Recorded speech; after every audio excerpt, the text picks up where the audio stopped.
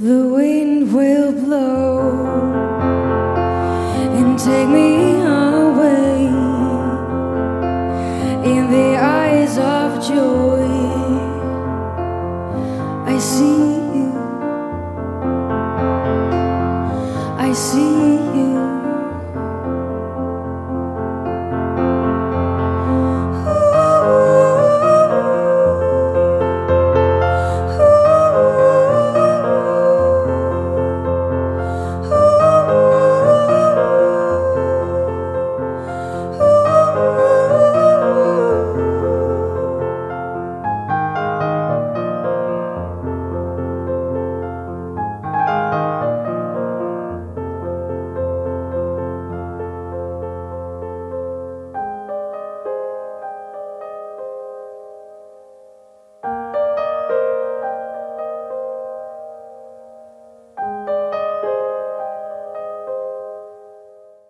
dames en heren, van harte welkom hier bij Slot Loevestein vanavond. We hadden het zo fantastisch georganiseerd. Een wervelende podiumshow, een fantastisch live publiek en een fantastische locatie als achtergronddecor. Heel veel dingen hebben we nog. We hebben een fantastische locatie. We hebben de show minder wervelend gemaakt, passend bij deze tijd. En helaas, binnen de richtlijnen hebben we geen live publiek meer. U bent erbij vanavond via een digitale verbinding. We vinden het jammer dat we het niet kunnen doen zoals we het zo mooi gepland hadden. Maar we zijn ook heel blij dat we nog wel via deze productie de essentie van onze boodschap voor het voetlicht kunnen brengen. Ik sta hier namelijk niet toevallig. Niet hier vanavond, niet hier bij Slot Loevestein. Graag wil ik met u even mee in het geschiedenisboekje van uw hersenpan. Blader even met mij terug naar 1566. Weet u nog, u heeft het ongetwijfeld geleerd op school. De beeldenstorm, de reformatie. Twee jaar daarna volgde de 80-jarige oorlog die uiteindelijk in 1648 uitmondde in de geboorte van ons land. In die 80-jarige oorlog gebeurde er iets interessants. We hadden namelijk een wapenstilstand van 12 jaar. Het zou vrede moeten zijn, maar het was geen vrede. Want bij gebrek aan een gemeenschappelijke vijand begonnen alle geloofsgroepen weer onder elkaar te kibbelen en onder elkaar te vechten. In die periode leefde Hugo de Groot. In die periode kreeg hij zijn eerste ideeën. Hij wilde wetten maken, hij wilde staatsinrichting vormen om ervoor te zorgen dat mensen niet meer met elkaar in oorlog zouden kunnen geraken. Hij had fantastische ideeën, maar niet iedereen steunde hem in zijn ideeën en daarom kwam hij hier achter mij in de gevangenis, de gevangenis van slot Loevestein terecht. Hier heeft hij voor het eerst zijn ideeën over staatsinrichting op papier gezet. Blader nu weer mee terug. We gaan weer een stukje terug naar voren, een heel stuk terug naar voren, nog verder tot we uitkomen bij het einde van de Tweede Wereldoorlog. Alle wereldleiders waren op zoek naar een systeem, naar een manier waarop we nooit meer in een wereldoorlog terecht zouden komen, waarop we altijd vrede zouden hebben. En wie had die wijsheid in pacht? Precies, Hugo.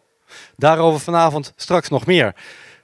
We gaan eerst even beginnen met het welkomstwoord. Daarvoor hebben we uitgenodigd de heer Pieter van Maren. Pieter van Maren is sinds een jaar burgemeester van deze prachtige gemeente Zaltbommel. En aan hem de eer om het welkomstwoord te doen, want wij gaan aftrappen met de Week van de Verenigde Naties. Graag op het podium meneer Pieter van Maren. U allemaal van harte welkom hier in de gemeente Zaltbommel op het mooie slot Loevestein, het meest westelijke deel van de provincie en ook het twee meest westelijke deel van de gemeente Zaltbommel. Het slot, het slot staat symbool, symbool voor een gevangenis en ook symbool voor de ontsnapping van Hugo de Groot. 75 jaar Verenigde Naties. 75 jaar leven wij in vrijheid. Hugo de Groot streed daarvoor en er werd ook in de Tweede Wereldoorlog voor gestreden. Vrijheid, het is niet iets wat je bezit. Het is ook niet iets wat je hebt. Het is iets waar je voor moet inzetten en blijvend moet inzetten. Vandaar dat ik blij ben dat we hier dit gedenken, dit ook op een passende manier vieren. Te meer omdat we nu beseffen hoe het is als je vrijheid beknot wordt. Ik ben ontzettend blij dat hier op slot Loevestein de start wordt gegeven voor het 75 jaar vrijheid en een 75-jarig bestaan van de Verenigde Naties. Ik wens u een genoegelijke avond. De volgende gast is virtueel bij ons aanwezig. Hij is rechtshistoricus en kenner, specialist van Hugo de Groot. Hij heeft een filmpje gemaakt, want hij heeft van de nood een deugd gemaakt. Hij heeft namelijk de juiste informatie precies op het punt waar het allemaal gebeurd is opgenomen voor ons. Heel erg interessant. Kijken. Excellenties, dames en heren. U allen gefeliciteerd met het jubileum van de Verenigde Naties. En mijn complimenten ook, want u viert het precies op de juiste plek. De doelstelling van de Verenigde Naties, dat weet u, is internationale vrede en samenwerking op basis van het recht. Daar is de afgelopen eeuw, sinds de oprichting van de Volkenbond, ook hard aan gewerkt. En niet in het minst hier in het Vredespaleis bij het Internationaal Gerechtshof. Daar waren ook Nederlanders bij. In het interbellum waren dat Bernard Loder en Van IJzinga. En recent nog Peter Kooijmans. Ze hebben alle hard geijverd voor die goede zaak. Maar geen jurist, Nederlander of buitenlander, was zo belangrijk voor de formulering en de acceptatie van de doelstelling van de Verenigde Naties als u raadde het al, Hugo de Groot. Daarom is dit portret me ook zo dierbaar. Dat gaat mee waar ik ook ga. Oh, er valt altijd genoeg te mopperen over de wereld. Maar dan is hij een bron van inspiratie. Een man die het midden zocht tussen bijtend cynisme en ongefundeerd idealisme. Een echte Hollander ook. We vlogen vol idealen, maar met zijn voeten diep weggezogen in die zompige Hollandse klei. De kracht van de groots werken was dat zij een principieel antwoord gaven op de overweldigende problemen van zijn tijd. De groots leven viel samen met de godsdienstoorlogen, wel de grootste sociale en intellectuele crisis in Europa tot het fiasco van de Eerste Wereldoorlog. En beide crisismomenten leidden tot dezelfde conclusie. Zowel in Westfalen in 1648 als in Versailles in 1918 begreep men dat het roer radicaal om moest. In Münster verruilde men de verticale wereldordening onder keizer en paus voor een horizontaal stelsel van soevereine staten. Maar in Versailles was het geduld opnieuw op. De niet aflatende machtsstrijd binnen het Europese concert voerde de mensheid de greppels in langs de Somme. Men eiste een nieuwe wereldorde, een volkerenbond op de grondslag van het recht. Op dat moment riep de Leidse hoogleraar internationaal recht, de visionaire van Vollenhoven, trots uit. Het uur van de Groot heeft geslagen. En hij was niet de enige, want al bij de Eerste Haagse Vredesconferentie in 1899 nodigde de Amerikaanse gedelegeerden op hun nationale feestdag, de 4 juli, alle gedelegeerden uit voor een pelgrimage naar het graf van de Groot. Want hij was degene die in drie eeuwen tevoren al aangedrongen had op twee instituties. Geregeld overleg tussen de mogendheden en de inrichting van een internationaal tribunaal voor de geschillenbeslechting. Oh, men wist wel hoe het moest. Bij de 300ste geboortedag van de groots De Jure Belli in 1925 kwam het Institut de Droit International naar Nederland en legde een krans op het graf van de Groot. En het organiseerde een dagtrip naar Loevestein. Want Loevestein was voor Hugo, wat Hugo voor Europa was, een beslissend keerpunt in het denken. Hugo's belangstelling voor het staatsverkeer kwam al vroeg. Op zijn achttiende produceerde hij een vergelijkende analyse van alle staatsmodellen die de wereld maar had gekend. Kijk eens, al op zijn dertiende wist Hugo de Groot precies hoe de wereld draaide. Vrede leidt tot welvaart. Dat schenkt ons rijkdom, maar leidt ook vaak tot arrogantie. Dat op zijn beurt veroorzaakt haat, neid en jaloezie. En die leiden weer tot oorlog. Oorlog heeft als uitkomst altijd armoede. Maar armoede brengt ook bescheidenheid en nederigheid. En dat op zijn beurt is weer de beste voorwaarde voor vrede en overleg. Uiteraard werd zijn talent schaamteloos ingezet voor het nationaal belang. Europa kende hem jarenlang als de grote loftrompetter van de Oranjes en prins Maurits veldtochten. Het maakte de latere verwijdering nog extra wrang. En de Groot leverde een briljante verdediging van de eigenlijk niet te verdedigen kaapvaart door onze VOC-kapiteins, waarbij hij en passant het leerstuk van de Vrije Zee poneerde. De Groots overgang naar de hoge politiek kon natuurlijk niet uitblijven. De afloop kent u. Twee jaren van afzien en inkeer in staatsgevangenis Loevestein bleken een verrijking voor zijn persoonlijkheid en zijn denken. De man die uit de kist klauterde was een gelouterd mens. En in ballingschap wachtte hem een missie. Want inmiddels waren de godsdiensttwisten geëscaleerd tot een algemeen Europees conflict, de Dertigjarige Oorlog. De groots antwoord op de identiteitscrisis zonder weerga was uniek in zijn alomvattende filosofie.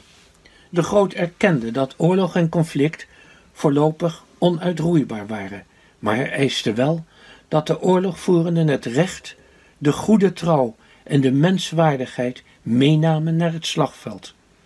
Hij bond alle fasen van het conflict aan regelgeving, en om die dwingend op te kunnen leggen, verwerkte hij alle theorieën, normen en gebruiken die de wereld had opgeleverd. Dit recht tussen de volkeren was ten principale universeel, algemeen geldend en onder alle omstandigheden toepasbaar. Daarna pakte hij de belangrijkste oorzaak voor oorlogen aan, de godsdiensttwisten.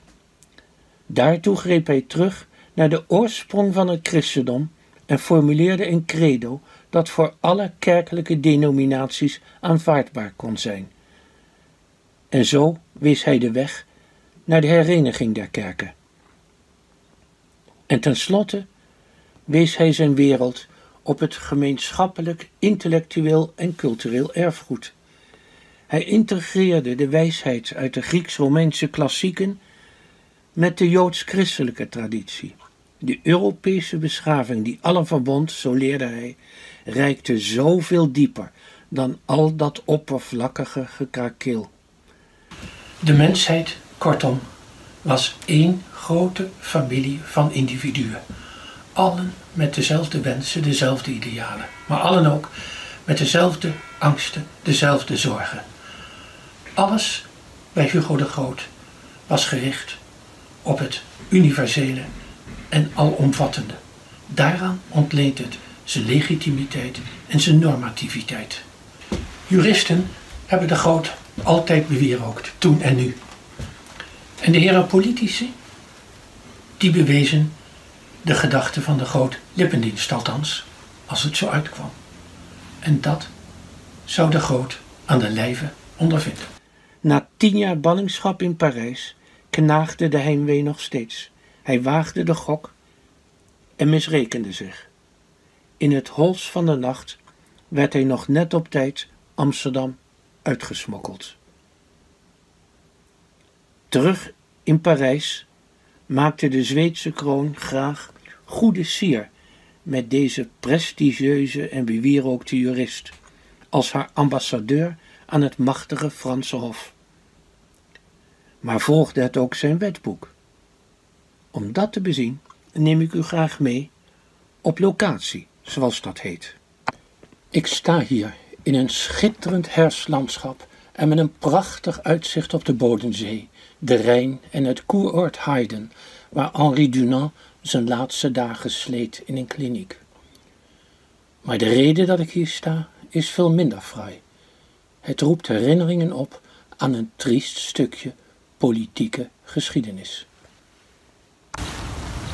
Ik sta hier, hoog boven de Bodensee, op het kruispunt van drie landen: Oostenrijk, Duitsland en Zwitserland, bij Bregenz. Hoog op de Vander, aan de Schwedenschatz. Terwijl Hugo de Groot in Parijs de belangen van de Zweedse kroon behartigde, trokken hier overal langs de Bodensee grote Zweedse legers plunderend rond. Toen ze eindelijk wegtrokken, brak de pest uit. Een derde van de bevolking kwam om. Maar ook op een ander punt waren deze jaren beslissend. Want ging het eigenlijk wel om het geloof? De grootste bondgenoot van de Zweden was de katholieke koning Lodewijk XIII. En in Parijs bepleitte de grote tegenspeler van Hugo de Groot, kardinaal Richelieu, uitgerekend hij, de scheiding van kerk en staat, de rol van het geloof als scheidsrechter in internationale geschillen, was op een beslissende manier beknot.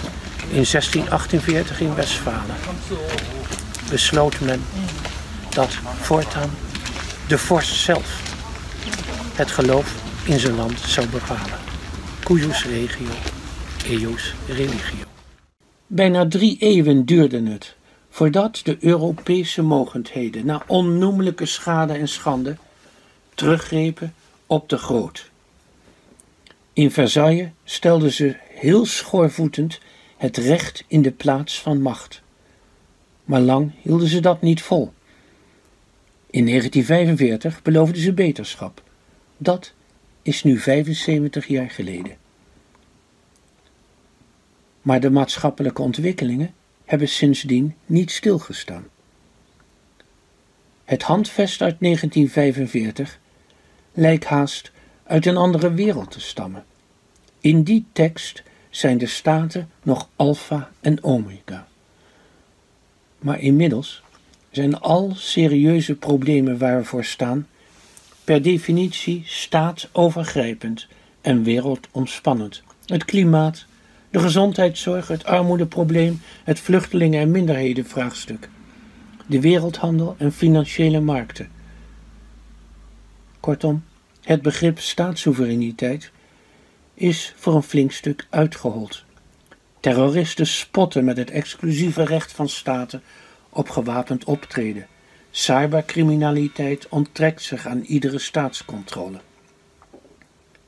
De oplossing voor de wereldproblematiek vinden de staten alleen nog als teamspelers in overleg met IGO's, NGO's en de civil society.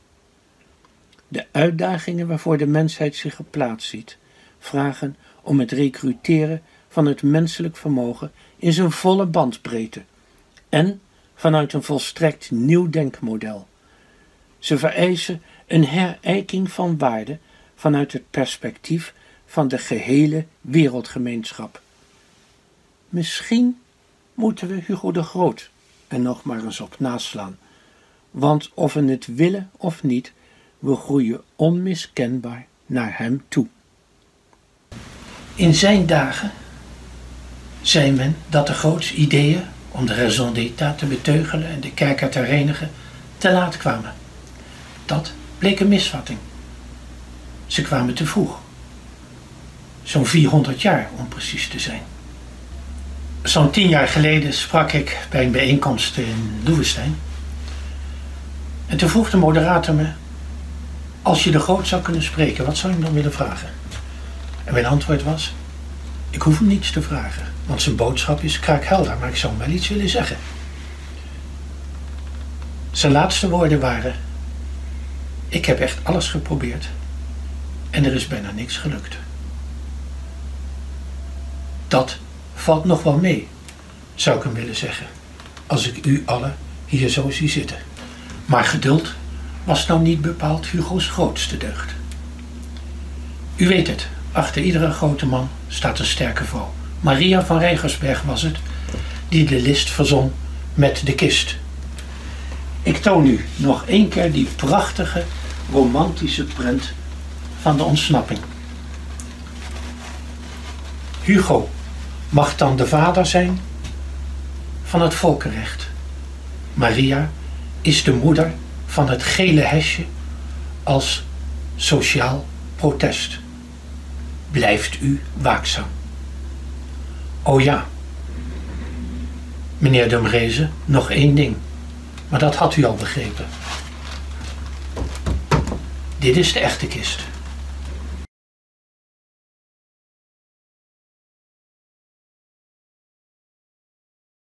Dames en heren, we gaan verder met onze artiesten voor vanavond. Sofia Dracht. Ze zal twee nummers voor u ten gehore brengen. Come Home and Always Go Back. Dankjewel. I don't always get a chance to say whenever life gets in the way. That hearing your words is all I need to get myself going. Remember when I was chasing the time? You told me when I get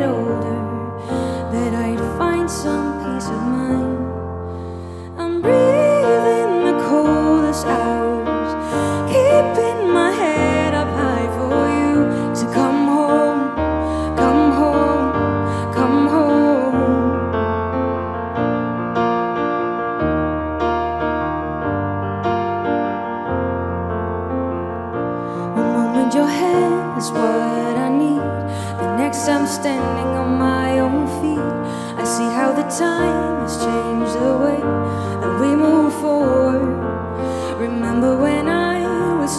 The time? Told me when I get older that I'd find some peace of mind.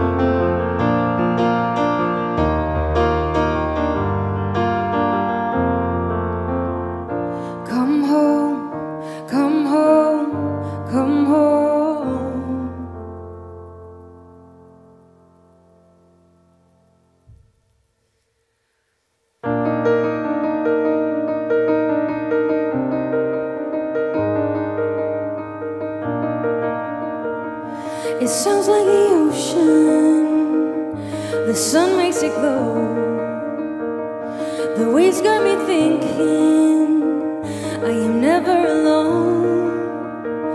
And this morning I woke up without the weight of the world.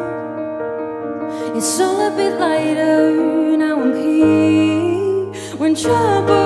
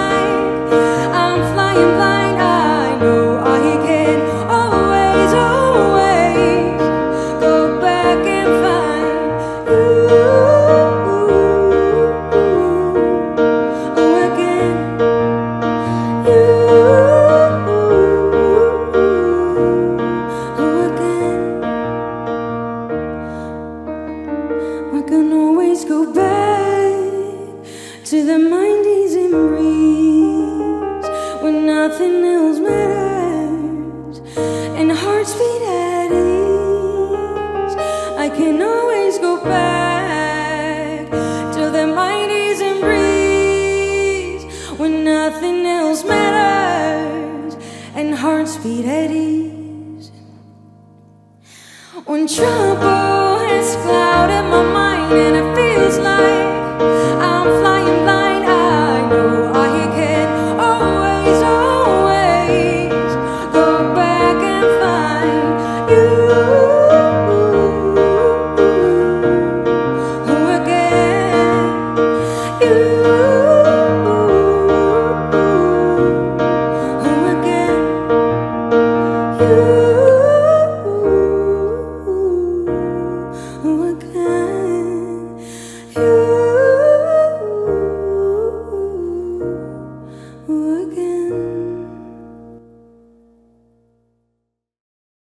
De NVVN heeft deze avond georganiseerd in combinatie met Slot Loevestein en een opdracht van het ministerie van Buitenlandse Zaken. Graag geef ik haar het woord hier op het podium, mevrouw Simone Filippini. Ja, goedenavond allemaal. Als je 75 jaar wordt, dan is er een tijd voor reflectie. En daar ga ik even wat over vertellen, want dat is wel heel belangrijk. De Verenigde Naties weten natuurlijk van zichzelf dat er nog veel goede werken te verrichten zijn om eh, eh, in deze tijd de organisatie effectief te maken. We hebben te maken in de wereld met enorme uitdagingen. Of het nou gaat over armoede of klimaat of honger of de ongelijkheid in de wereld. Kansen voor iedereen. En de Verenigde Naties wilden graag de mening horen van mensen in de wereld. En daarvoor hebben ze een onderzoek opgezet. En dat is begin van dit jaar gestart. En inmiddels heeft meer dan een miljoen mensen uit de hele wereld aan dat onderzoek meegedaan. Het is een, een enquête van een minuutje. Maar er is ook nog aanvullend onderzoek gedaan, opiniepeilingen door een aantal van de grote opiniepeilingsclubs in de wereld. En wat wel heel bijzonder is, is dat die onderzoeken laten zien dat waar mensen ook wonen in de wereld, wie ze ook zijn, wat voor achtergrond ze ook hebben, dat ze eigenlijk op dezelfde conclusies komen als het gaat over wat is nu voor ons als gewone eh, burgers van deze wereld belangrijk.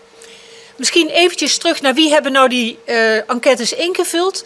Meer dan 65% van de mensen die dat hebben ingevuld waren onder de 30. 8% daarvan zelfs onder de 15 jaar oud. En dat, is ook wel, dat zegt ook iets over waar de betrokkenheid ligt over de toekomst van deze wereld. Ehm, als je kijkt naar eh, de continenten, dan zie je dat vooral in Azië en Afrika de mensen het hebben ingevuld. Ehm, en wat minder in Europa. In Nederland hebben helaas maar 1500 Nederlanders die enquête ingevuld. Ik ben er trouwens er zelf eentje van. Maar dat moet beter. En ik wil dan ook al nu al meteen een oproep doen aan Nederlanders. Om nu en masse die ehm, enquête te gaan invullen. Want dat betekent ook dat we invloed kunnen uitoefenen met z'n allen op de richting waar de Verenigde Naties uitgaan. Ik ga even kort in op de uitkomsten van die enquête, want die zijn wel relevant.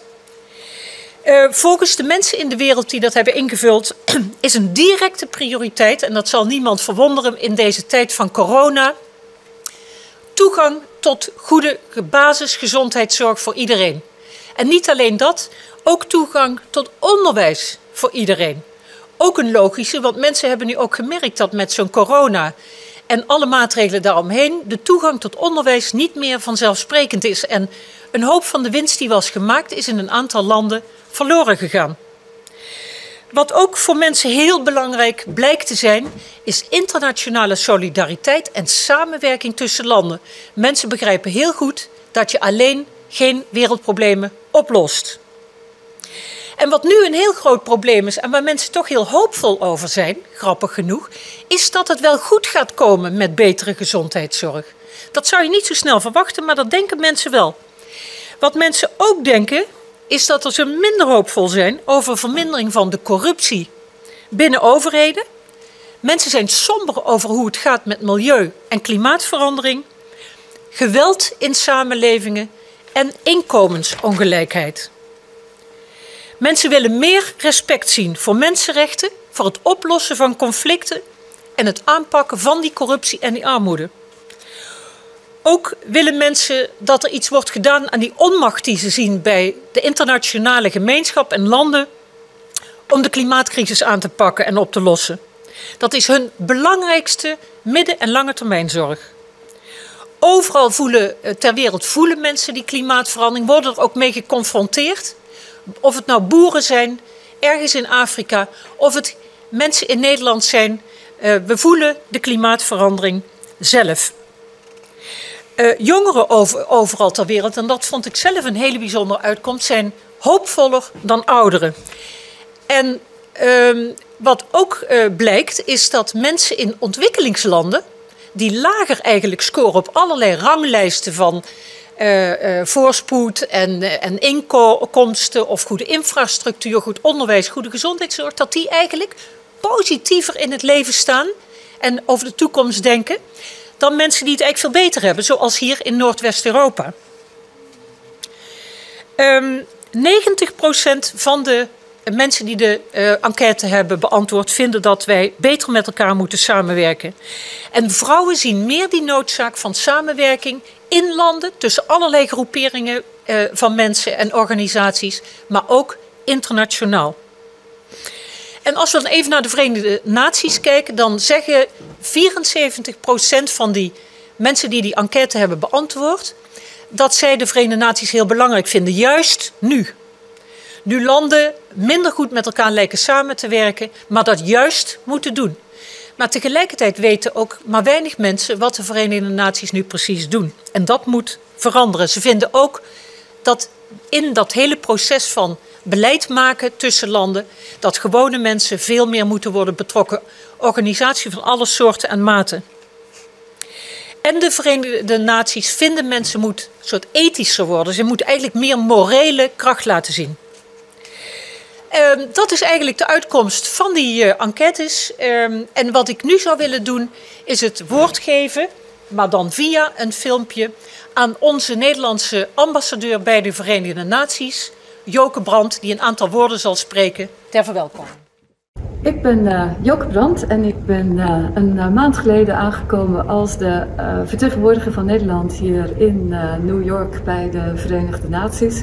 We staan hier in de zaal waar normaal gesproken de Veiligheidsraad vergadert. We zien echt een, een, prachtige zaal, maar leeg. Want ik ben natuurlijk op een hele bijzondere tijd aangekomen omdat ik toen ik aankwam meteen twee weken in quarantaine kon. En daarna begon de ja, eerste ooit virtuele algemene vergadering. In een jaar wat natuurlijk voor de Verenigde Naties echt heel bijzonder is. Want we vieren de 75ste verjaardag. En iedereen had zich die verjaardag uh, anders voorgesteld dan door deze uh, COVID-pandemie uh, op aangewezen te zijn op een virtuele bijeenkomst.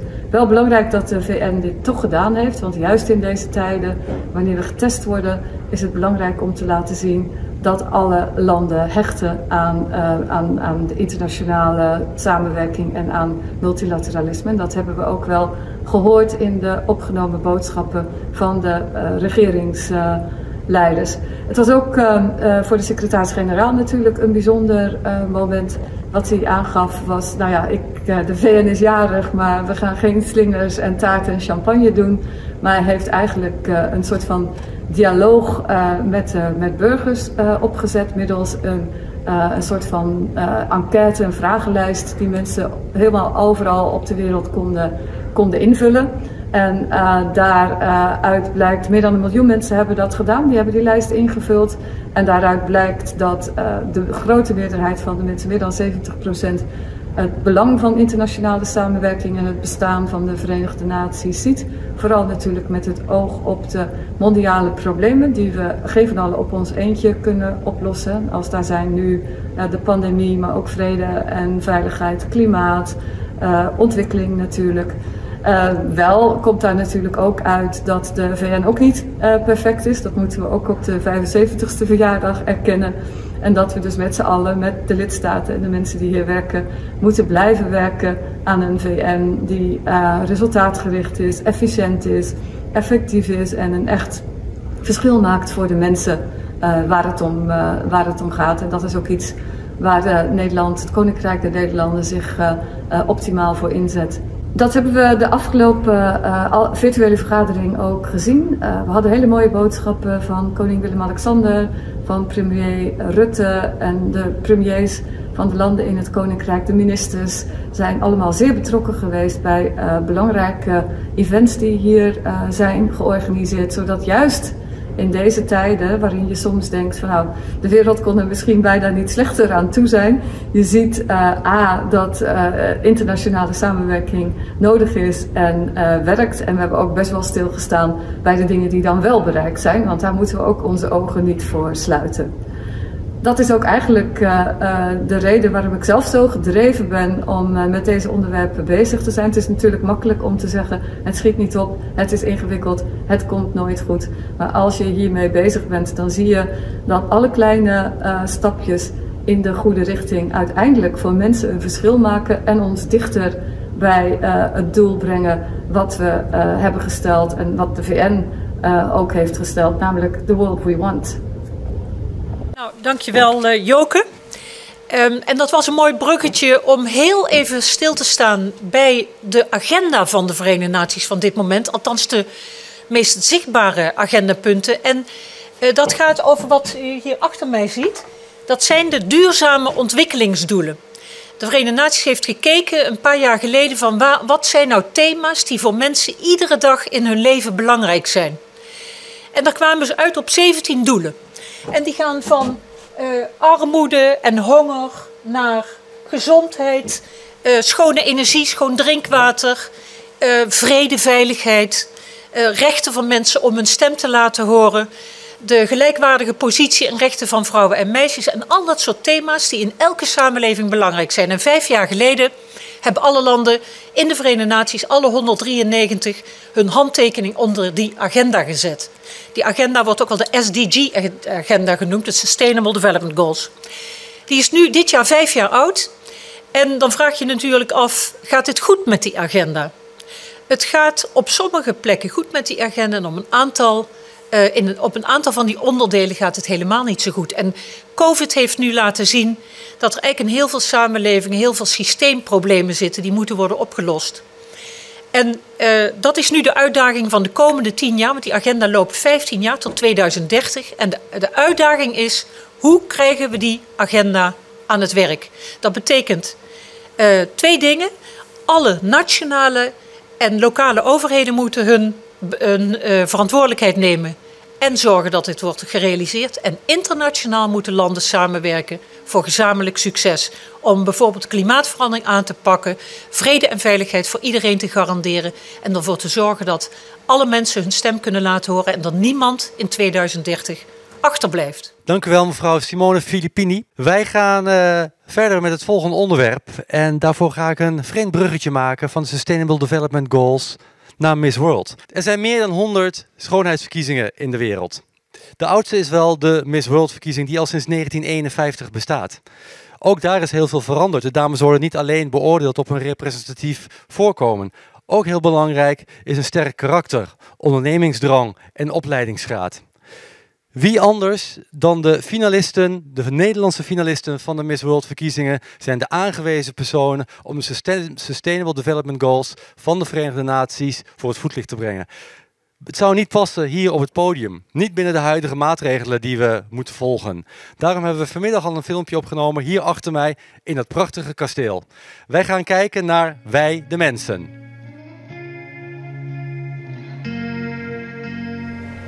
Dit zijn de van de Verenigde Naties voor duurzame ontwikkeling. Laten we aan de slag gaan, laten we ervoor zorgen. Wij, de mensen, de wereldwijde doelstellingen voor duurzame ontwikkeling. We kunnen, we moeten. De eerste generatie zijn die een einde maakt aan extreme armoede. De duurzame ontwikkelingdoelstellingen, een 15-jaren plan voor iedereen, overal, waar niemand achterblijft. We zullen in een wereld leven waar niemand, waar dan ook, in extreme armoede leeft. Waar niemand honger lijdt, waar niemand ochtends wakker wordt en zich afvraagt of er vandaag te eten is. We zullen in een wereld leven waar geen kind hoeft te sterven aan ziekten die we kunnen genezen. En waar goede gezondheidszorg een levenslang recht is voor ons allemaal. Wij zullen in een wereld leven waar iedereen naar school gaat en onderwijs ons de kennis en vaardigheid biedt voor een goed leven. We zullen leven in een wereld waar vrouwen en meisjes gelijke kansen hebben. Om krachtig te zijn, om te bloeien en veilig. Dit lukt ons niet als de helft van de wereld wordt achtergesteld. We zullen in een wereld leven waar iedereen schoon water heeft en fatsoenlijke toiletten. Thuis, op school en op ons werk. We zullen in een wereld leven waar duurzame energie is voor iedereen. Warmte, licht en stroom voor de hele planeet zonder de planeet ervoor kapot te maken. We zullen in een wereld leven waar de economie bloeit en nieuwe welvaart tot goede banen leidt voor iedereen. En we zullen leven in een wereld waar onze industrie, onze infrastructuur en onze beste innovaties niet alleen worden gebruikt om geld te verdienen, maar om het leven van iedereen beter te maken. We zullen in een wereld leven waar vooroordelen en uitwassen van ongelijkheid worden uitgebannen. In onze landen zelf en tussen landen onderling. Waar mensen leven in steden en gemeenschappen die veilig en vooruitstrevend zijn en iedereen steunen die er leeft. Waar we vervangen wat we gebruiken. Een planeet waarin we teruggeven wat we uit de aarde halen. We zullen in een wereld leven die het tij zal keren van de dreigende klimaatverandering.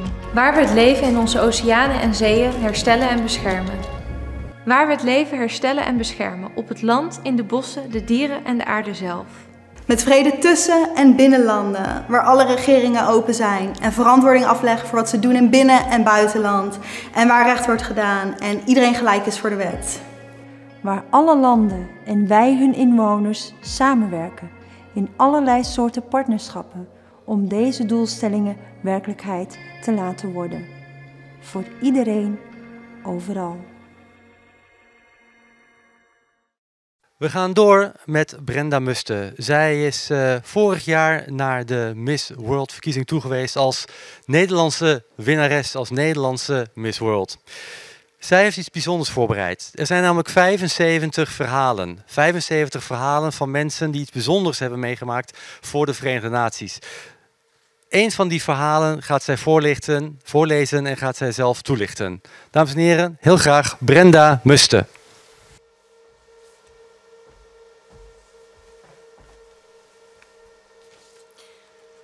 Ter ere van het 75-jarig bestaan van de Verenigde Naties draag ik een van de 75 verhalen op.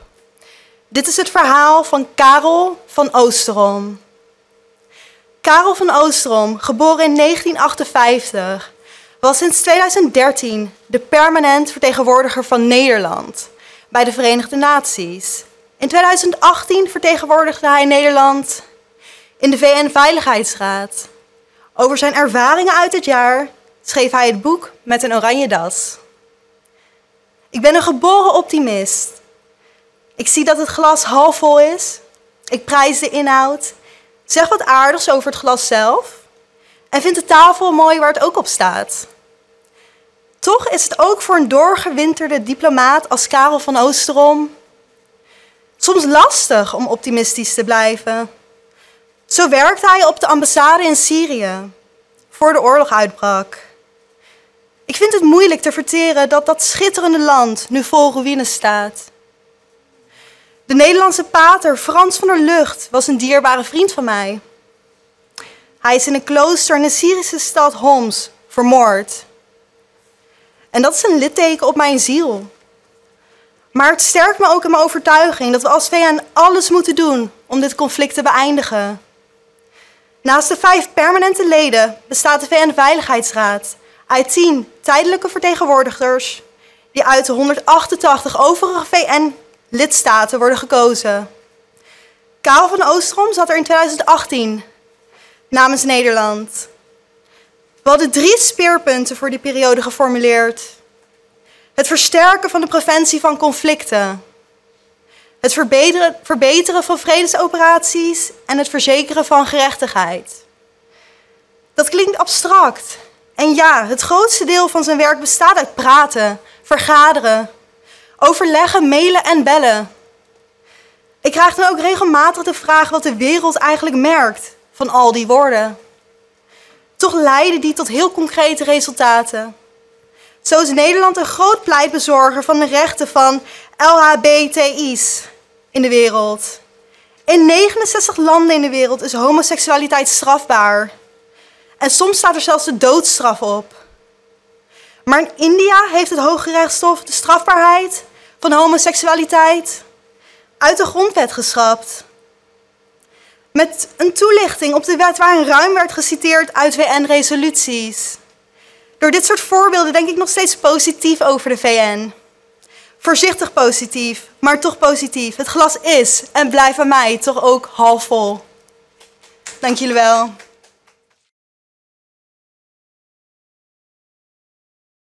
Onze volgende spreker is meneer John Berends. Hij is sinds 19 februari 2019 commissaris van de Koning hier in het mooie Gelderland. Hij gaat niet alleen het woord tot u richten, hij gaat ook samen met Brenda straks de openingshandeling verrichten. Meer daarover straks. Eerst geef ik graag het woord aan meneer John Berends. Het is een grote eer om op deze plek zometeen de vlag te mogen hijsen ter gelegenheid van 75ste verjaardag van de Verenigde Naties. Te meer omdat deze verjaardag samenvalt met onze herdenking van 75 jaar vrijheid.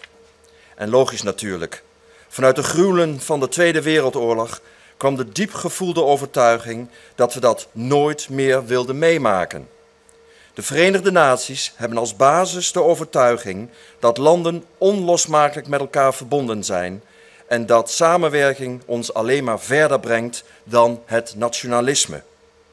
Samenwerking omdat uiteindelijk alle mensen hetzelfde willen: een dak boven hun hoofd, goede voeding, goed onderwijs, natuurlijk gezondheid, maar ook vrijheid, vrede en veiligheid. Het is aan de regeringen van de landen om daar echt veel werk van te maken. Het belang van een goede internationale samenwerking zien we ook nu weer nu het coronavirus ons allemaal raakt en ook diep raakt. Of we nu in Nederland, Nieuw-Zeeland, Nicaragua of nog veel, meer, veel meer andere landen wonen. Het virus kent geen grenzen, trekt zich niet aan van verschillen in wetten en regelgeving. Alleen door internationaal goed samen te werken, door samen op te trekken, kunnen wij dit virus bestrijden. Het is ook bijzonder dat we nu bij Fort Loevestein staan, het fort staat op de grens van provincies die een paar eeuwen geleden nog maar min of meer onafhankelijk waren. Totdat ze ontdekten dat ze samen meer voor elkaar konden krijgen dan ieder apart. Ooit was dit een gevangenis en de beroemdste gevangene was zonder meer Hugo de Groot. Hij was de grondlegger van de volkerenrecht.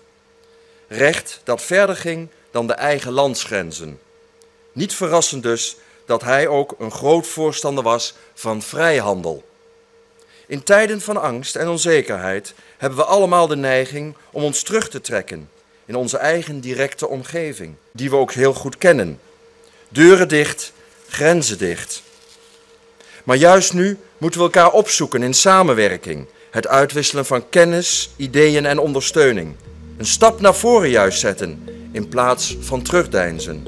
En ook over onze eigen schaduw heen durven springen. Als we daarin slagen, is de rol van de Verenigde Naties nog lang niet uitgespeeld. En kunnen we nog menig jubileum in de toekomst meemaken met elkaar. En dan ontsteken we nu het blauwe VN-licht.